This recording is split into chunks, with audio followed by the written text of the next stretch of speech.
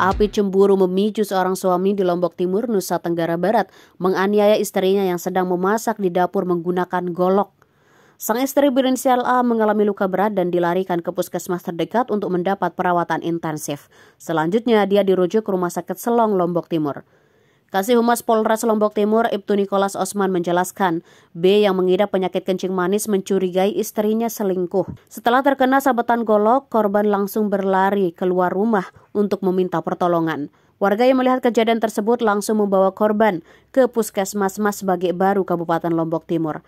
Korban mengalami luka di bagian kepala dan leher. Aparat kepolisian langsung menuju tempat kejadian perkara dan melakukan olah TKP.